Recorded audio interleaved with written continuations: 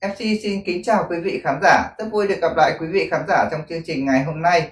Bản tin cập nhật những tin tức nóng nhất mới nhất về tình hình kinh tế, chính trị, xã hội trong 24 giờ qua. Sau đây là những điểm tin chính có trong chương trình. Thảm họa lũ can quét liên tục ở Trung Quốc ảnh hưởng hàng triệu cư dân có thể kéo dài đến hết mùa hè. Mới đây, một cán bộ thủy lợi Trung Quốc đã tiết lộ Đập Tam Hiệp đã thực hiện đợt xả lũ có lệnh tuyệt mật cho nhân viên. Hy vọng phương tiện truyền thông có lương tâm trong và ngoài nước sẽ chú ý đến con đập Tam Hiệp vì tình hình hiện tại đang ngàn cân treo sợi tóc. Lưu vực sông Dương Tử của Trung Quốc tiếp tục có mưa lớn khiến hạ lưu vẫn gặp lũ lụt. Tuy nhiên, thông tin của đập Tam Hiệp đã bất ngờ dừng lại vào tối ngày hôm qua và chỉ trở lại bình thường vào sáng ngày hôm nay một nhân viên kiểm soát lũ lụt tiền tuyến đã chia sẻ với đã chia sẻ thông tin với các phương tiện truyền thông bên ngoài rằng đập Tam Hiệp đã thực hiện một siêu xả lũ. Theo tờ South China Morning Post cũng công bố hình ảnh cho thấy đập bắt đầu xả lũ vào cuối tháng 5, nhưng kênh chính thức của Trung Quốc cho đến ngày hôm qua mới đăng tin hồ chứa đập Tam Hiệp xả nước lần đầu tiên trong năm nay là vào cuối tháng 5 với lưu lượng là 35.000 mét khối trên giây, làm giảm bớt 30% lượng nước đổ về đập Tam Hiệp theo báo cáo từ cấp cao. Một nhân viên kiểm Kiểm soát lũ tuyến đầu của Trung Quốc gần đây đã cho biết tình hình lũ lụt trên sông Dương Tử là hết sức khẩn cấp, nhưng các quan chức cấp cao của chính phủ đã đưa ra một lệnh tuyệt mật được ghi nhận rằng không được đưa ra bất cứ thông tin gì về lũ lụt cả các đồng chí đều phải được biết yêu cầu này. Sau này, trong việc phòng chống lũ lụt nếu phát sinh việc xử lý các tình huống nguy hiểm và phân tích tình trạng mưa lũ trong công tác kiểm soát lũ phải được xem xét và phê duyệt bởi Bộ Chỉ huy phòng chống lụt bão thành phố mà không được tự tiện công bố thông tin ra bên ngoài mà không được sự cho phép. Theo tờ South China Morning Post, ông Kim Minh tiết lộ rằng đập Tam Hiệp thật sự đã trải qua một đợt xả lũ và các quan chức coi như đã hy sinh tính toàn lực để bảo vệ con đập Tam Hiệp. Tôi dự đoán rằng chính phủ sẽ không ngần ngại làm ngập một số thành phố và khu vực nông thôn để bảo vệ các con đập ở Vũ Hán cùng các dự án điểm hoặc chủ chốt của thành phố lớn. Đối với việc vì sao đột ngột đình chỉ việc thông báo các thông tin về mực nước vào ngày hôm qua, tôi nghĩ rằng nó có liên quan đến việc xả lũ trong hai ngày này bởi vì chính quyền đã đưa ra dự đoán rằng một trận lũ lụt lớn sẽ tới Vũ Hán Hán trong những ngày giữa tháng này. Theo thông báo của cơ quan tỉnh Giang Tô, tình hình lũ sông Dương Tử hiện tại rất nghiêm trọng. Lưu lượng của sông Dương Tử vượt qua 80.000 mét khối trên giây. Kế hoạch thăm thực địa của nhân viên trong dự án đã phải lùi lại. Xác thực đã lùi lại việc chuẩn bị công tác. Sở Tài nguyên nước sẽ rời lại ngày kiểm tra của tổ công tác tại hiện trường. Ông Kim lo lắng nói rằng vì trận lũ lụt nghiêm trọng của đập Tam Hiệp, các quan chức đã che giấu sự thật. Ông hy vọng rằng các phương tiện truyền thông có lương tâm trong và ngoài nước sẽ chú ý đến tình hình lũ lụt của đập Tam Hiệp. Bạn có thể nói rằng lũ lụt trong năm nay xảy ra trên sông Dương Tử là do nhân tạo. Chuyên gia thủy lợi Vương Duy Lạc đã từng chỉ ra tất cả những thứ như mực nước lưu lượng hết thảy về đập Tam Hiệp đều do bên trong hệ thống điều hành. Như việc nước đập Tam Hiệp chảy vào Hồ Bà Dương đều là do nhân viên Tam Hiệp điều hành. Ông cho rằng lũ lụt nằm dưới sự kiểm soát nhân tạo của Đảng Cộng sản Trung Quốc chứ không chỉ đơn thuần là do thiên tai. Tiến sĩ Hoàng Quan Hồng cho rằng những ai khởi xướng xây dựng đập Tam Hiệp cần phải bị lên án bởi chính là những người gieo rắc thảm họa của ngày hôm nay. 28 tỉnh, thành phố của Trung Quốc gần như liên tục hứng chịu mưa lớn trong thời gian dài. Lũ lụt lan rộng, đập Tam Hiệp toàn lực xả lũ làm nghiêm trọng thêm thảm cảnh lũ lụt ở lưu vực sông Dương Tử. Mới đây, truyền thông Đảng Cộng sản Trung Quốc đã bất ngờ đăng một bài báo nói rằng đập Tam Hiệp đã làm hết sức trong trận lụt này. Nó cũng đã hoàn toàn bất lực Điều này không có gì việc đưa ra phán quyết tử hình cho con đập Tam Hiệp. Tiến sĩ Hoàng Quan Hồng, con trai của ông Hoàng Vạn Lý, chuyên gia thủy lợi nổi tiếng của Trung Quốc, bày tỏ năm xưa khi khởi công xây dựng đập Tam Hiệp, nhóm người của cha ông đã biết trước sẽ có thảm họa như ngày hôm nay. Truyền thông Trung Quốc xin lỗi về đập Tam Hiệp đã làm hết sức. Trang Sinsu.net Trung Quốc đã đưa tin về tình hình lũ lụt ở khu vực đập Tam Hiệp rằng đập Tam Hiệp đã cố gắng hết sức xin vui lòng ngừng lên án nó.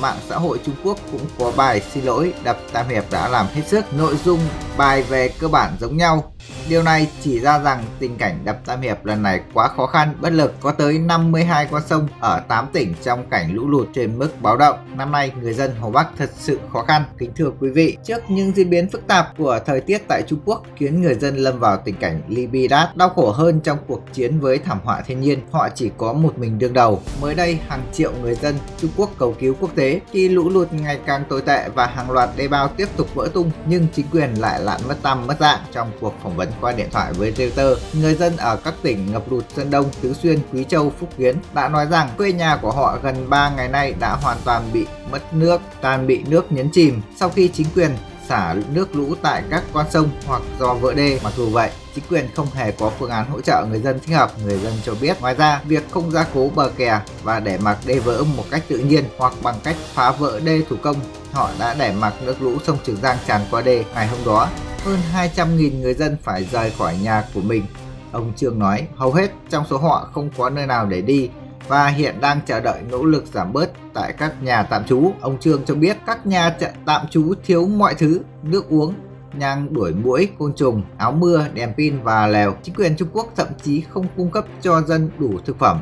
Nếu tình hình mưa lớn kéo dài như hiện nay, phải làm sao để dân làng chúng tôi có thể vượt qua đợt lũ kinh hoàng ở nơi đây. Nhiều người dân lo lắng rằng tài sản của họ sẽ bị lũ cuốn trôi. Cũng theo Epoch Times, làng Hu Đông và hàng chục ngôi làng trong huyện đã bị nước lũ cuốn chìm vào tối ngày hôm qua sau nhiều lần vỡ đê. Lũ lụt hiện vẫn chưa rút khỏi khu vực này, ngập lụt ở khắp mọi nơi. Chúng tôi không thể nào đi ra ngoài và chúng tôi thực sự rất cần thực phẩm, dân giải thích. Nước lũ đã dâng cao đến tận tầng 2 của làng Jihun. Buôn ông là cư dân sống tại làng Diko, cách làng Jihun khoảng 15 dặm, ông Mai và người dân của mình cũng đã bị mắc kẹt trong tình trạng tương tự. Ông Mai nói, ở làng tôi có rất nhiều người bị mất nhà, nước lũ vẫn đang dâng cao còn chính quyền thì đang xả lũ từ hồ nước gần đó so với mực nước trên cánh đồng nước trên sông chiết giang cao hơn gần 1 mét tạo thành dòng sông chảy xiết qua đoạn đê vỡ vô cùng nguy hiểm do đó sau nhiều giờ các lực lượng nỗ lực việc phá đê vẫn không thành, nước lũ đã đạt đỉnh ở thành phố Hàng Châu, thủ phủ tỉnh Chiết Giang vào lúc 11 giờ đêm ngày hôm qua. Nhưng chính quyền thành phố Chiết Giang không thông báo. Đến sáng ngày hôm nay, một người dân tại làng Chu Chu thuộc Giang Tô đã gửi một video cho đài Epoch Times. theo đó, ông nói rằng tất cả dân làng đã buộc phải sơ tán vào lúc 5 giờ sáng vì chính quyền sẽ xả nước lũ từ sông Trường Giang vào khu vực làng của ông. Trong một đoạn phát sóng của đài truyền hình Trung Quốc CCTV hôm qua, ông Chan Jia Phó kỹ sư trưởng của Ủy ban Thủy lợi Trường Giang của Bộ Thủy lợi cho biết khúc sông Trường Giang đi qua tỉnh Phúc Kiến có thể đạt mức nguy hiểm trong vài ngày tới. Không chỉ các tỉnh trên chịu ảnh hưởng mà các thành phố khác ở hạ lưu đập Tam Hiệp cũng phải oan bình hứng chịu thiên tai. Thành phố Nam Kinh thuộc tỉnh Giang Tô ở miền đông Trung Quốc báo cáo rằng mực nước hiện tại địa phương của sông Trường Giang cao hơn 133,112 cm so với mức báo động. Trang web chính thức của chính quyền Vũ Hán Trang Giang Net đưa tin vào sáng nay rằng ngập lụt ở Trường Giang sẽ dẫn đến tình trạng hai đỉnh lũ liên tiếp có nghĩa là một đỉnh lũ mới sẽ đến trước khi đỉnh lũ cũ đi qua. Tiến sĩ Hoàng Quan Hồng, con trai của nhà thủy văn học nổi tiếng Hoàng Vạn Lý, đối với Reuters rằng nếu đập Tam Hiệp không xả nước, thành phố Trùng Khánh ở thượng nguồn sẽ bị nhấn chìm nếu đập Tam Hiệp xả ở Chiết Giang, ở Hạ Lưu sẽ bị ngập. Tình huống sau chính là tình hình hiện tại không chỉ ở Chiết Giang mà các thành phố khác ở Hạ Lưu đập Tam Hiệp cũng phải oan mình hứng chịu thiên tai. Thành phố Nam Kinh thuộc tỉnh Giang Tô ở miền đông Trung Quốc báo cáo rằng mực nước tại địa phương có con sông Trường Giang cao hơn 133,112 cm so với mức báo động. Theo hãng tin Reuters đưa tin, Lũ lụt do mưa lớn đã ảnh hưởng ít nhất 27 trên số 31 tỉnh của Trung Quốc. Vào sáng ngày hôm nay, Trung tâm Khí tượng Quốc gia Trung Quốc đã cảnh báo rằng lưu, lưu vực sông Chiết Giang sẽ còn hứng chịu mưa lớn trong những ngày tới. Trung tâm này ước tính rằng tổng lượng mưa ở phía nam lưu lực lưu vực sông Chiết Giang của Trung Quốc trong hai ngày tới sẽ đạt khoảng 100 mm đến 180 mm. Ở một số khu vực lượng nước có thể lên tới 300 mm. Trung tâm cũng cảnh báo rằng các khu vực phía Bắc Trung Quốc như Tây Tạng, Tân Cương, Thanh Hải, Cam Túc, Nội Mông, Bắc Kinh, Thiên Tân, Liêu Ninh, Hắc Long Giang sẽ có mưa lớn trong 3 ngày tới.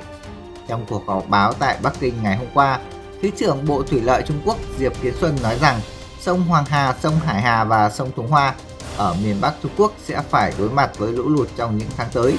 Trong khi người dân ở khu vực này thiếu kinh nghiệm đối phó với thảm họa lũ lụt, ông Diệp nói chúng ta nên chú ý hơn đến miền Bắc Trung Quốc. Thứ trưởng Diệp giải thích, lượng mưa ở lưu vực sông Trường Giang và Thái Hồ mùa hè này sẽ cao gấp 1,5 đến 2,6 lần lượng mưa trong những năm trước. Chính quyền cần sơ tán người dân bị ảnh hưởng từ trước. Tuy nhiên, trong cuộc phỏng vấn qua điện thoại với Epoch Times, người dân ở các tỉnh ngập lụt như An Huy, Hồ Bắc, Giang Tây đã nói rằng ngôi làng của họ gần như hoàn toàn bị nhấn chìm trong biển nước sau khi chính quyền xả lũ tại các con sông, hồ và kè chắn lũ gặp vấn đề. Mặc dù vậy, chính quyền không hề có phương án hỗ trợ người dân thích hợp. Người dân cho biết trước tình hình tồi tệ của mưa lũ thì Tổ chức Y tế Thế giới WHO đã đưa ra cảnh báo trên tài khoản Weibo chính thức thể hiện sự lo lắng về khả năng lây lan bệnh truyền nhiễm sau trận lũ. WHO kêu gọi các nạn nhân lũ lụt, uống nước đun sôi hoặc nước được khử trùng bằng clo. Ngoài ra họ không nên ăn thực phẩm lấy được trong nước lũ. Tổ chức này khuyên không nên sử dụng quần áo hoặc